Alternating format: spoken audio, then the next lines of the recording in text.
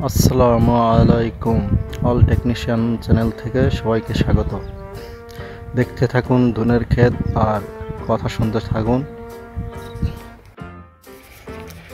ধুনে একটি মশলা জাতীয় খাবার, এটা খুব ভালো একটা।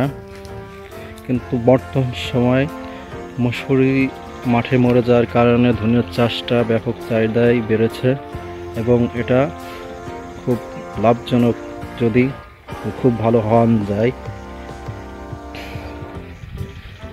এটা দেখুন, খুব সুন্দর দেখাচ্ছে, ফুল ধরেছে কিছু মৌমাছি এসে বসে মধু পান করছে, মধু সংগ্রহ করতেছে।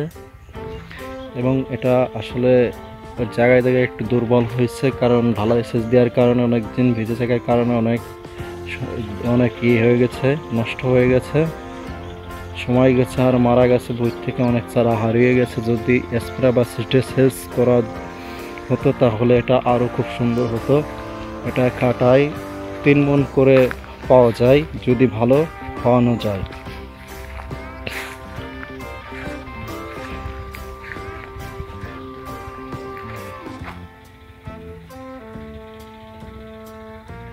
এটা দেখুন, মাঠ ভরে খালি ধুনে আর ধুনে দেখা যাচ্ছে। খুব সুন্দর লাগছে।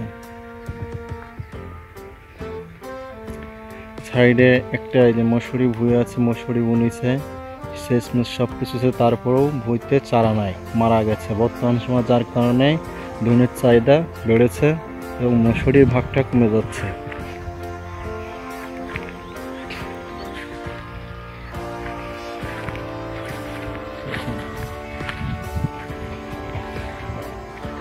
এটা আগে বোনা, যার কারণে কিছুগুলো ফুল, আবার কিছুগুলো এই যে ফল ধরেছে। আর কিছুদিন পর এগুলো যেগুলো ফুল আছে, এগুলো যে ফল আসছে। এভাবেই কিছুদিন পরে আর এগুলো উড়ানো যাবে। উড়ায়ে এটা একদিন রোদে দিয়ে ভূত থেকে একটা গাড়ি বা যে কোনো ভ্যানে ভ্যানে নিয়ে মাড়াই করে বিক্রি করা যাবে। যখন পাকে যাবে। আজ ভিডিও এ পর্যন্তই।